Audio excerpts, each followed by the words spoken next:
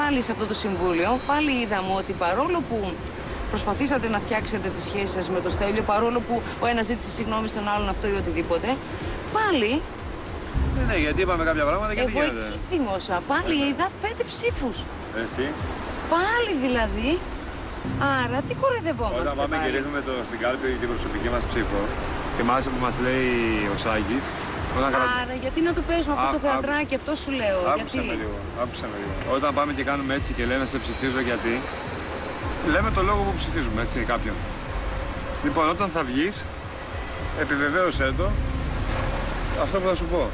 Το ψήφισα γιατί αυτά που είπαμε εκεί κάτω, είδαμε, με θυμάσαι που μίλησαμε εκεί κάτω, δεν γίνανε.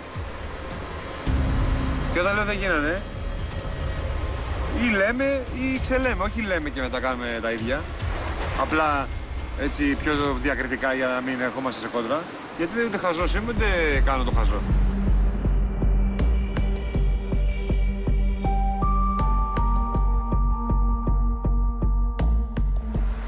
Και αυτό του πω ότι όταν.